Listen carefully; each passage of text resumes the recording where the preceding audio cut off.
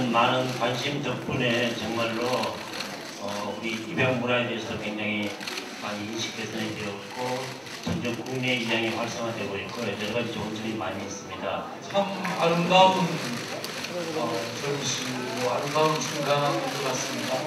어, 저는 모든 생명은 다 아름답고 희망차다고 생각합니다.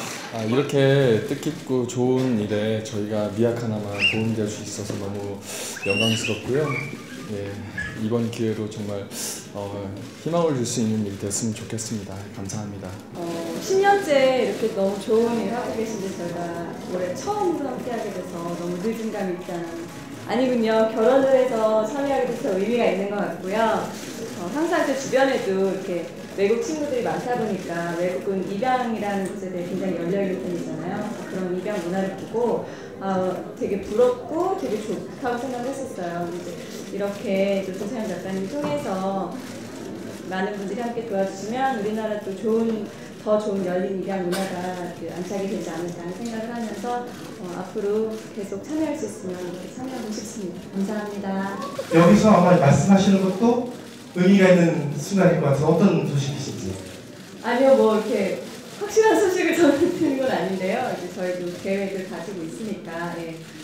아직 생긴 건 아닙니다. 네.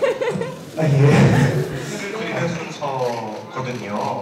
감사패를 드리는 순서인데, 자 그리고 가운데도 좀 봐주세요. 어, 너무 즐거운 시간이었고 그리고 되게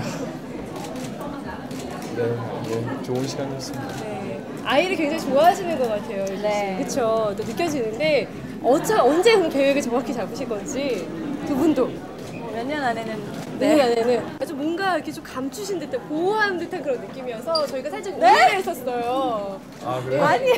저희 취재진들이 어 그런 소식인가 이러면서 지금 기다리고 있었거든요. 저는 이제 막 드라마 들어갔거든요. 예. 힘드시겠네요. 예, 아니 그러니까 그럴 사이가 없다는. 알겠습니다. 아 일단 이제 사회적으로 좀 보는 시선들이 좀 많이 달라져야 될 것 같아요. 입양에 대한 그런 개념 생각들이 좀 많이 달라져야 될 것 같고 정말 아까 유진 씨가 말씀 말했던 것처럼 되게 좀 자유로운 입양이 좀 될 수 있었으면 좋겠다는 생각이 있습니다. 네, 시청자 여러분 이렇게 또 좋은 행사에 참여해서 인사드릴 드릴 수 있어서 너무 좋고요. 이제 2012년 마무리 잘 하시고 또 새해 희망차게 맞이하시길 바라겠습니다. 네, 미리 새해 복 많이 받으십시오. 새해 복 많이 예. 받으세요.